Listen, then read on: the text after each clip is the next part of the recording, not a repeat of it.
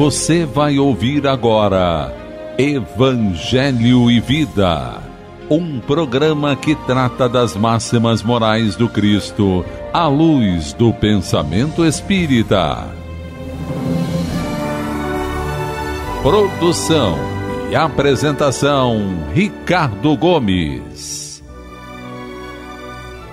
Amiga e amigo ouvinte, é com muita alegria que estou iniciando mais uma edição do programa Evangelho e Vida, nas ondas fraternas da nossa Rádio Rio de Janeiro, a emissora da Fraternidade.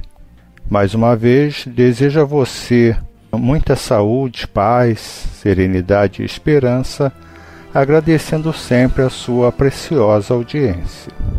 O tema do nosso programa é casamento e usaremos como texto base o Evangelho segundo o Espiritismo em seu capítulo 22, intitulado Não separeis o que Deus juntou, nos itens de 1 a 4.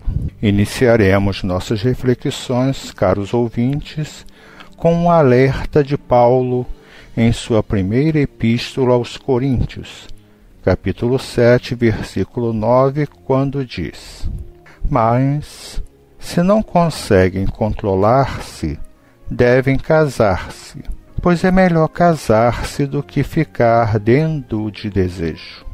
Isso nos leva à primeira pergunta para a reflexão do tema do programa de hoje.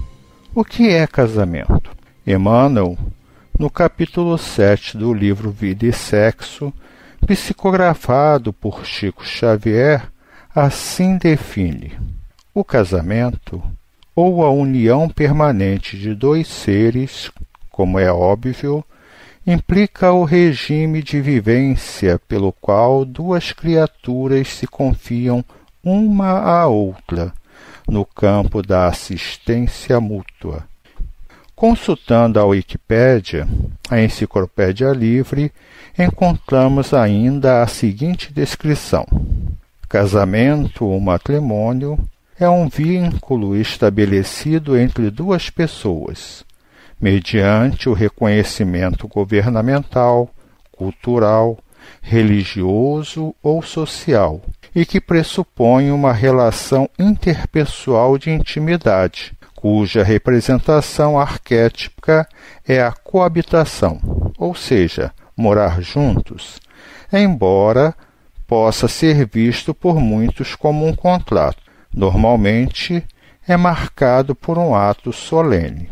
As pessoas casam-se por várias razões, mas normalmente fazem-no para dar visibilidade à sua relação afetiva, para buscar estabilidade econômica e social, para formar a família, procriar e educar seus filhos, legitimar o relacionamento sexual ou para obter direitos como, por exemplo, a nacionalidade.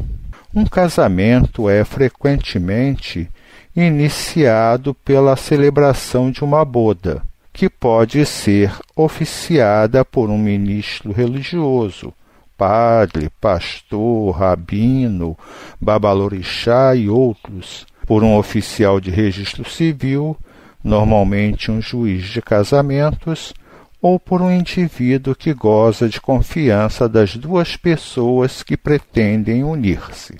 Em direito, são chamadas cônjuges as pessoas que fazem parte de um casamento. O termo é neutro e pode se referir a homens e mulheres sem distinção entre os sexos. Propomos a outra pergunta aos queridos ouvintes. Vocês conhecem todos os tipos de casamento existentes no mundo? Existem diversos tipos de relações matrimoniais, levando em conta as várias tradições e costumes encontrados em vários países e regiões do nosso planeta. As mais comuns são casamento religioso, celebrado, como vimos, perante uma autoridade religiosa, lembrando que no Espiritismo não se celebra casamento. Casamento civil, celebrado sob os princípios das leis vigentes em determinado país, estado ou região. Casamento aberto ou liberal, em que é permitido aos cônjuges ter outros parceiros sexuais por consentimento mútuo. Casamento celibatário é o casamento sem relações sexuais. Casamento arranjado é o casamento celebrado antes do envolvimento afetivo dos contraentes e normalmente combinado por terceiros, os pais, irmãos, chefe do clã e etc. Em alguns países como China e Índia, existe a prática da compra da noiva, a qual se torna propriedade do esposo, podendo esta ocasionalmente ser revendida por este. A prática é ilegal na maioria dos países. Casamento misto entre pessoas de distinta origem religiosa, étnica e etc. Existem dois tipos de cerimônia de casamento misto. Uma é o casamento ecumênico e o outro casamento interreligioso. O casamento ecumênico é o matrimônio realizado entre pessoas que professam diferentes religiões cristãs. As cerimônias interreligiosas abraçam uniões entre pessoas de religiões diferentes. Exemplo, o cristão com o não cristão. Casamento nuncupativo, realizado oralmente, feito à viva voz. Diz-se do casamento celebrado pelos próprios nubentes, sem a presença da autoridade, em virtude de estar um deles em perigo de vida ou por outro motivo urgente. Casamento poligâmico, realizado entre um homem e várias mulheres. O termo também é usado coloquialmente para qualquer situação de união entre múltiplas pessoas. Casamento poliândrico, realizado entre uma mulher e vários homens. Ocorre, por exemplo, em certas partes do Himalaia. Casamento por conveniência, que é realizado primariamente por motivos econômicos ou sociais. Casamento avuncular.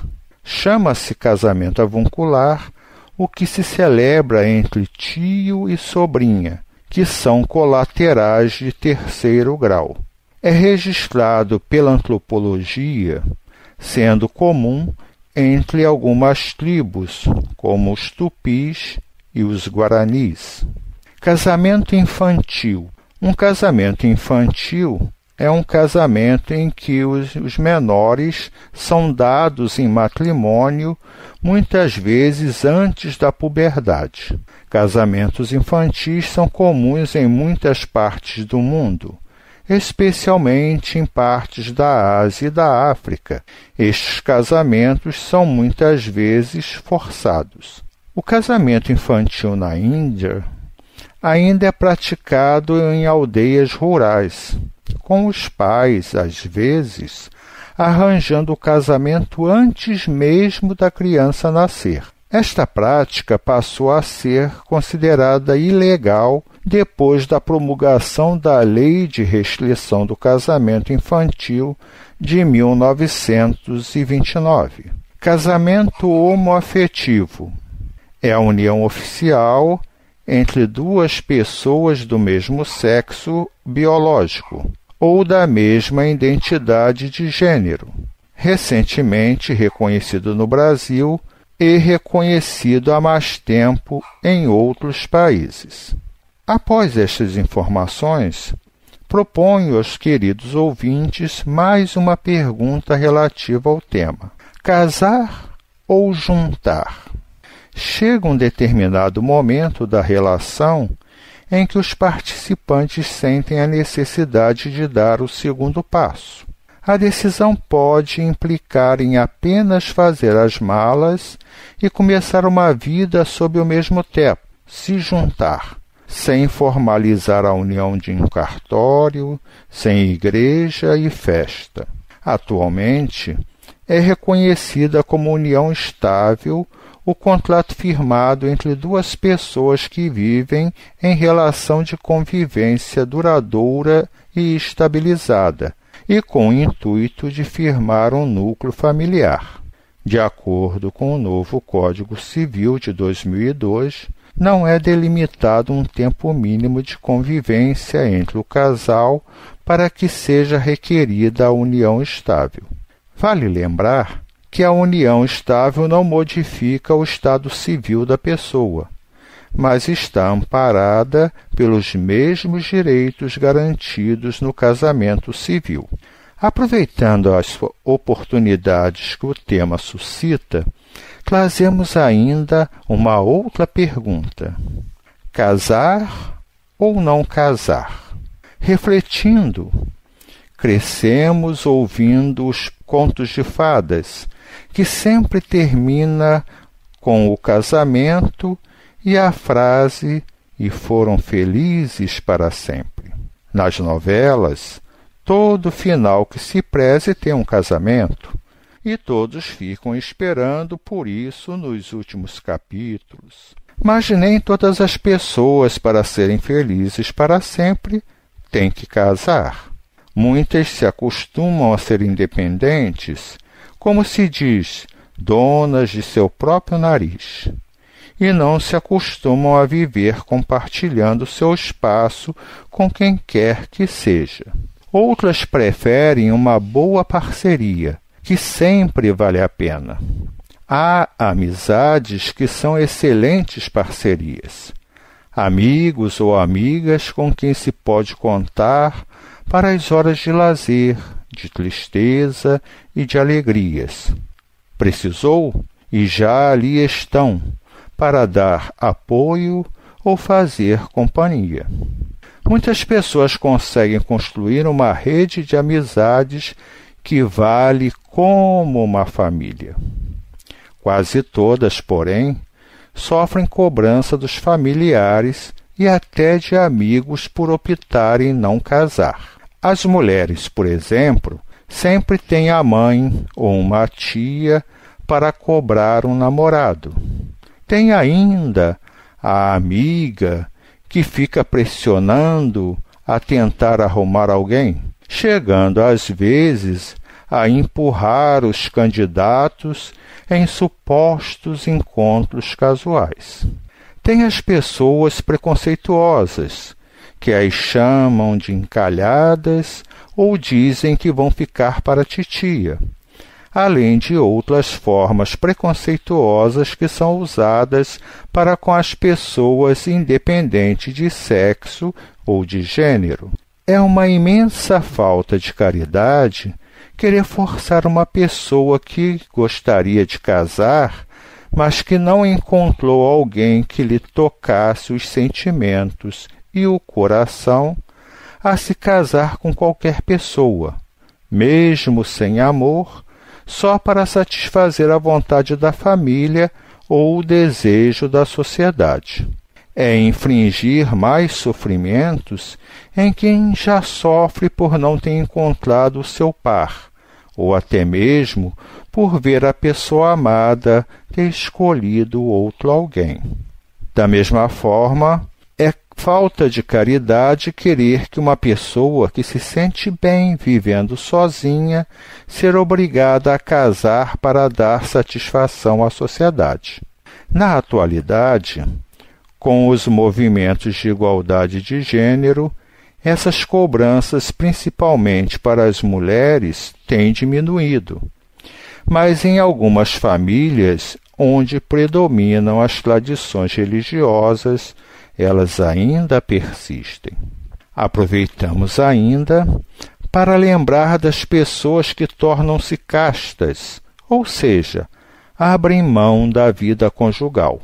Há pessoas que realizam-se canalizando suas energias sexuais para gloriosas realizações nos domínios da arte, da ciência, da religião, da filosofia e da caridade.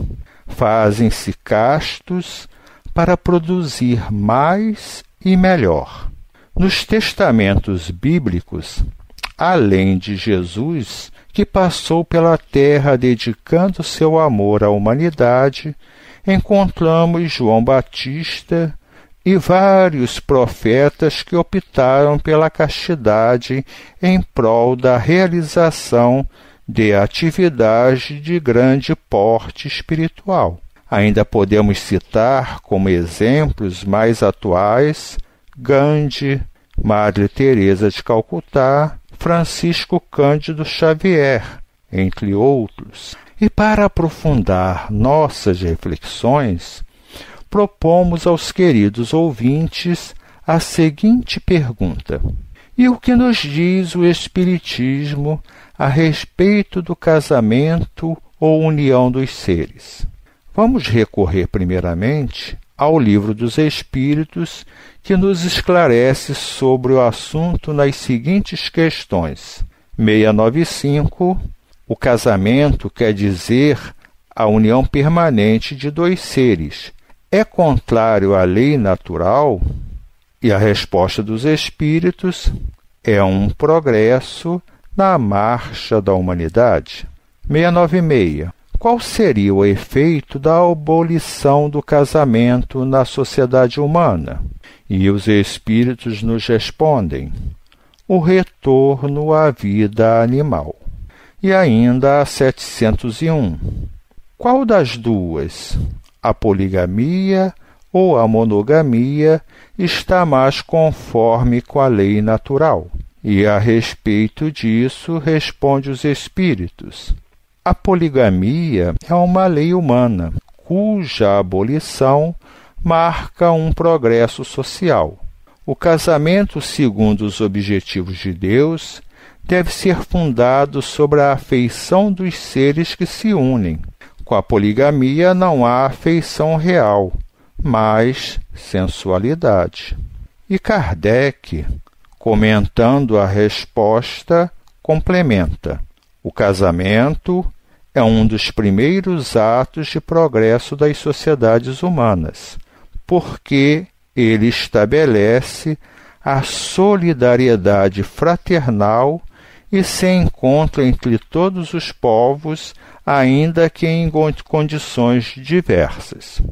A abolição do casamento seria o retorno à infância da humanidade e colocaria o homem abaixo mesmo de certos animais que lhe dão o exemplo de uniões constantes.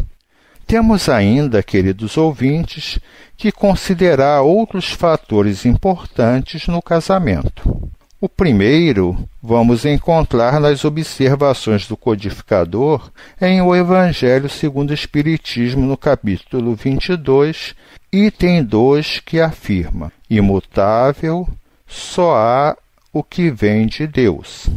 Tudo o que é obra dos homens está sujeito à mudança.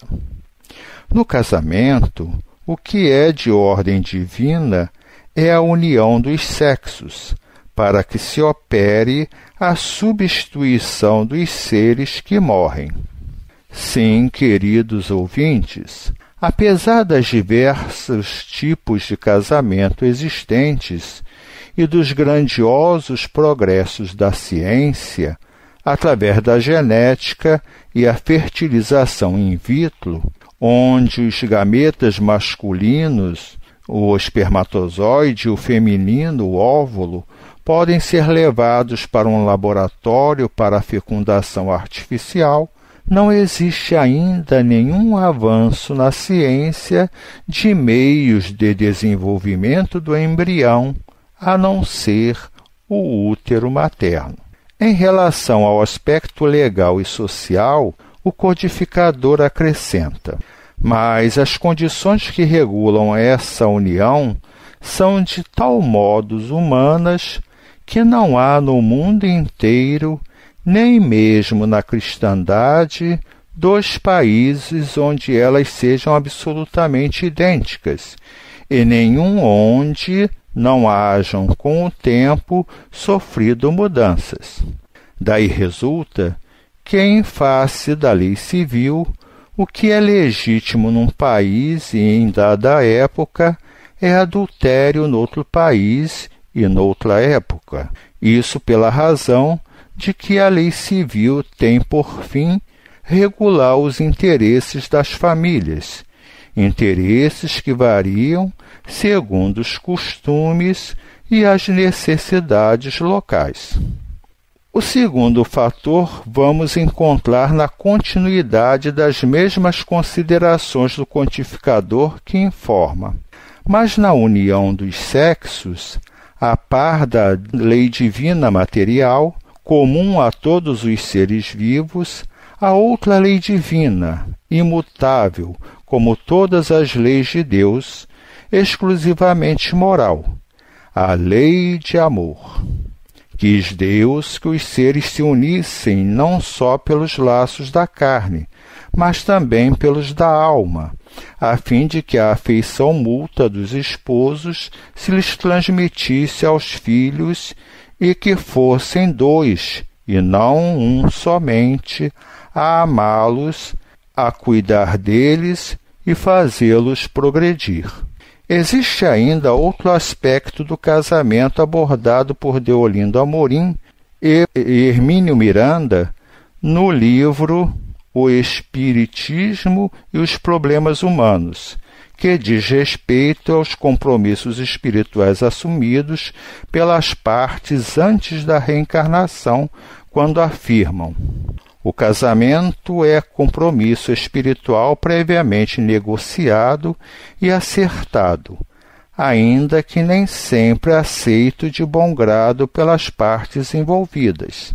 São muitos, se não maioria, os que se unem na expectativa de muitos anos de turbulência e mal entendidos, porque estão em débito com o parceiro que acolhem precisamente para que se conciliem, se ajustem, se pacifiquem e se amem, ou pelo menos se respeitem e estimem.